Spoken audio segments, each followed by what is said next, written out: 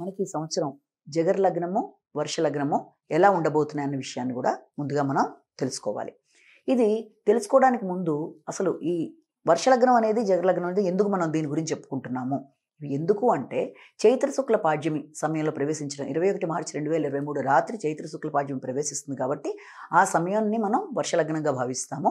అలాగే పద్నాలుగు ఏప్రిల్ రెండు వేల ఇరవై మూడు మధ్యాహ్నం నుంచి మనకి రవి మేష సంక్రమణంలో ప్రవేశించి రవి మేషంలో ప్రవేశించడం వల్ల అది మనకి వర్ష జగర లగ్నంగా చెప్తాం. వీటి వల్ల దేశ ప్రజల వ్యవసాయ వ్యాపార రాజకీయ రంగాల భవిష్యత్తు దాంతోపాటు ప్రకృతి వైపరీత్యాలు అలాగే ధరవర్షలు ధరవరలు వర్షయోగాలు మొదలైన విషయాలన్నింటినీ కూడా వీటి బట్టి తెలుసుకుంటాం. ఇప్పుడు ఈ వర్ష లగ్నాన్ని అనుసరించి లగ్నాధిపతి అయిన కుజుడు అష్టమ స్థానంలో ఉండడం బట్టి ప్రతి విషయంలోనూ విమర్శలు ఎదుర్కోవడం అనేది అలాగే స్వవర్గంలో కూడా ముఖ్యం కొంతమందిని మనం నియంత్రించవలసిన పరిస్థితి రావడం అనేది అంతేకాకుండా ఈ స్నేహ సంబంధాల విషయంలో అత్యంత జాగరూకతగా వ్యవహరించుకోవాలి. దీంతో పాటుగా ఈ వాహనాలకు సంబంధించిన విషయం కొంత అనుకూలతలే సిద్ధిస్తాయి. ఏంటంటే శని స్వక్షేత్రంలోనే ఉండడం బట్టి అనుకూలతలు సిద్ధిస్తాయి.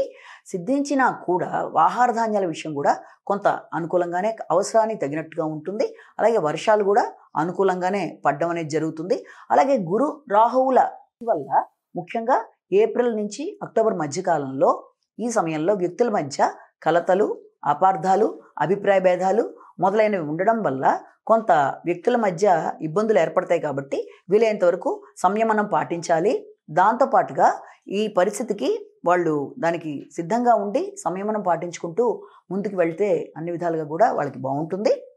అంతేకాకుండా శుక్రరాహువులు కలిసిన సందర్భంలో ఆ యుతి సమయంలో స్త్రీలకి కొన్ని విధాలైన చిక్కులు ఏర్పడతాయి కాబట్టి ప్రభుత్వం వాళ్ళు ఈ విషయంలో కొంత శ్రద్ధ ఎక్కువ చూపించినట్లయితే ఈ సమస్యల్ని చాలా వరకు అధిగమించవచ్చు అంతేకాకుండా మాదక ద్రవ్యాల విషయంలో కూడా వాటి ప్రభావం అధికంగా ఉంటుంది. ఈ విషయంలో ప్రభుత్వం వాళ్ళు నియంత్రిస్తూ ఉంటారు కాబట్టి అది వీలైనంత వరకు కంట్రోల్ అవుతూ ఉంటుంది. ఆ విషయంలో పెద్ద కంగారు పడక్కర్లేదు.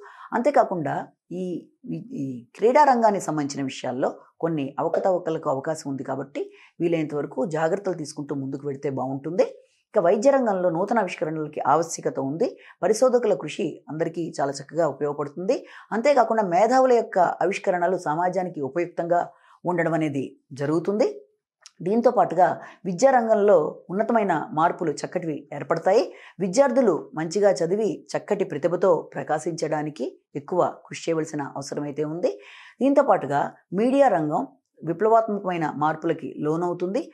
అంతేకాకుండా ఈ యొక్క ఈ టెలివిజన్ రంగాలు వా ప్రజల్ని ఆకర్షించుకునే విధంగా కొత్త కొత్త విధానాలని వాళ్ళు ప్రవేశపెడతారు.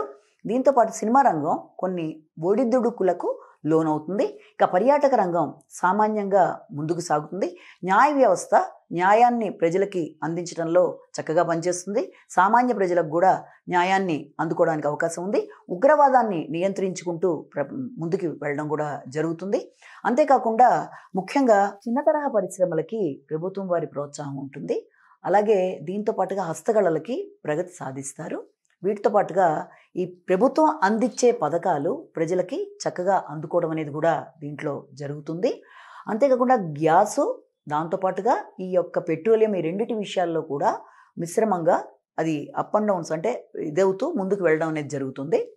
విద్యుత్ రంగం కూడా ప్రగతి సాధిస్తుంది అని ఇందులో మనం భావన చేయొచ్చు.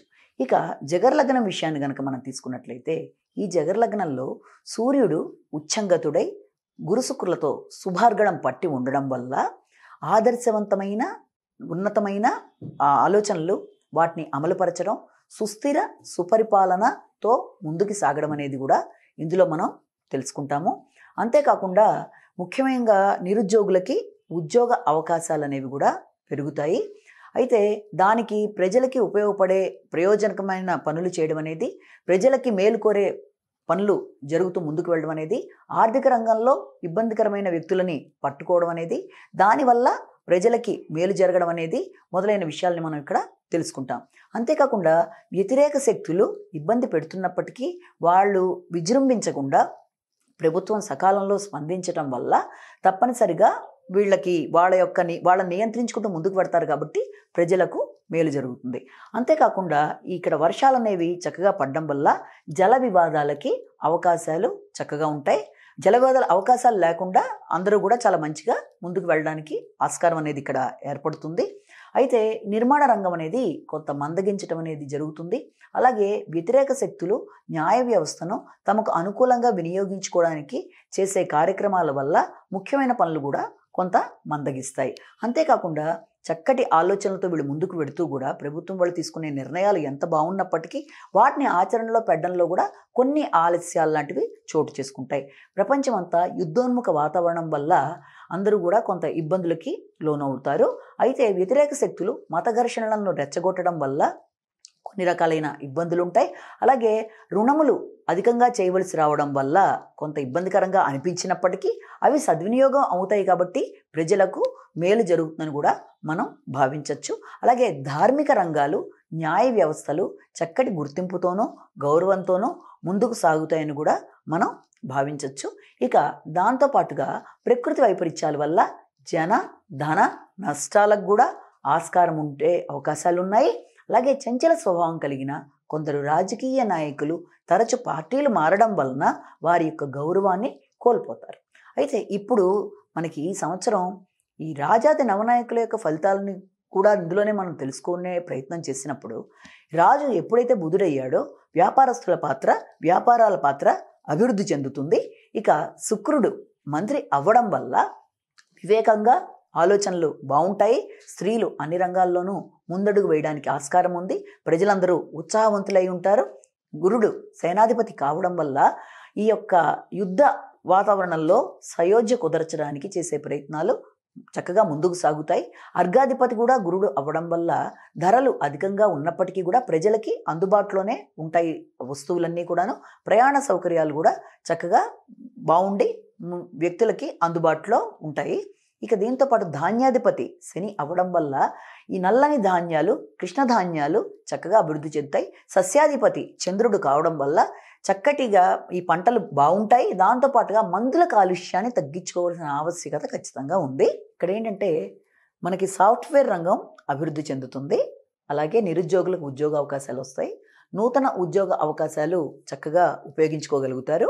అంతేకాకుండా విమానయాన రంగానికి సంబంధించి విషయం తీసుకుంటే అక్కడ రవాణాకు సంబంధించిన విషయాల్లో ఈ రేట్లు అనేవి అంటే విమానయాన టికెట్లకు సంబంధించిన రేట్లు అనేవి ఒకటి పెరగడం అనేది అలాగే రైల్వే రంగంలో కూడా ప్రయాణ సౌకర్యాలు ప్రజలకు అనుకూలంగా ఉండేట్టుగా అనేక రకాలైన సదుపాయాలు కలగడం అనేది కూడా మనం ఇందులోనే చూడడం జరుగుతుంది. దాంతోపాటుగా మనకి రసాధిపతి బుధుడు రసవస్తువులు లభ్యత బాగుంటుంది. అలాగే నీరసాధిపతి చంద్రుడు కాబట్టి నీరస వస్తువులైన బంగారం ముత్యాలు వెండి అవన్నీ కూడా అందుబాటులో ఉంటున్నట్టున్న కొంత ధరలు అధికంగా ఉండడం అనేది ఇక్కడ మనం భావన చేయవచ్చు. ఈ విధంగా మేఘాధిపతి కూడా గురుడు అవ్వడం వల్ల వర్షాలు బాగుంటాయి. ము- ముఖ్యంగా మెట్ట పంటలు సస్యశ్యామలంగా పండుతూ ముందుకు పెడతాయి. ఇక్కడ ఆర్థికంగా మనం తీసుకున్నట్లయితే సర్వాదాయం కన్నా సర్వ వ్యయం తక్కువగా ఉంది కాబట్టి ఆర్థిక ప్రగతి కొంత బాగుంటుందనే మనం ఇక్కడ భావన చేయొచ్చు. ముందు చూపు కలిగిన వ్యక్తులు రాబోయే సమస్యని ముందుగానే గుర్తించి దాన్ని నివారించగలిగిన వ్యక్తులు పాలకులుగా ఉండి చక్కగా ముందుకు వెళ్ళడానికి ఆస్కారం అనేది కనబడుతుంది.